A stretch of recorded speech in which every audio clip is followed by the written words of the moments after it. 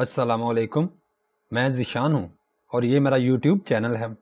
مستند اور سچی تعلیمی خبروں کے لیے آپ میرے چینل کو سبسکرائب کر لیں اور بیل آئیکن کو بھی پریس کر لیں تاکہ آپ کو نئی ویڈیوز فوراً مل سکیں۔ بہت شکریہ۔ ڈیٹ شیٹ شیئر کرنے سے پہلے میں چند ایک ضروری باتیں آپ سے شیئر کرنا چاہتا ہوں۔ نمبر ون، دو ہزار اکیس میں تمام بورڈز کا فرسٹ ایئر یعنی گیارہویں کلاس کا امتحان صرف اور صرف اختیاری مضامین کا ہوگا۔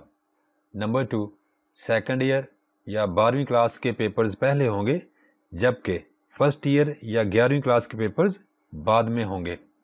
نمبر تھری، گیارہویں کلاس میں لازمی مضامین یعنی انگلش، اردو اور اسلامیات لازمی کے پیپرز نہیں ہوں گے۔ گیارہویں کلاس کے بچوں کو صرف تین اختیاری مضامین کا امتحان دینا ہوگا۔ گیارہویں کے پری میڈیکل سٹوڈنٹس کو صرف کیمسٹری فزکس اور بایولوجی کا پیپر دینا ہے۔ پری انجینئرنگ کے بچوں کو کیمسٹری فزکس اور ریاضی کا پیپر دینا ہوگا۔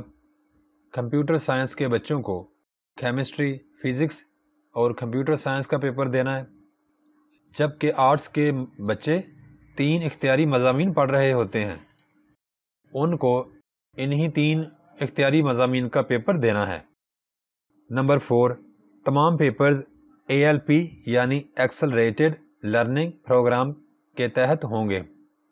یاد رکھیے کہ اے ایل پی کا دوسرا نام سمارٹ سلیبس ہے۔ نمبر فائیو، تمام مضامین کے پیپر پیٹرن میں کوئی تبدیلی نہیں ہوئی۔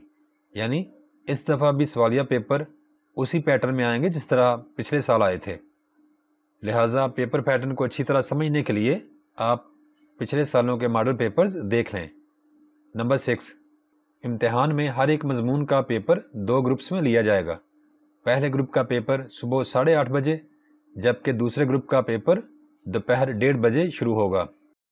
آپ کا گروپ پہلا ہوگا یا دوسرا، یہ آپ کو اپنی ڈیٹ شیٹ سے پتہ لگے گا۔ اب میں گیارہویں کلاس کی فائنل ڈیٹ شیٹ آپ کے ساتھ شیئر کرتا ہوں۔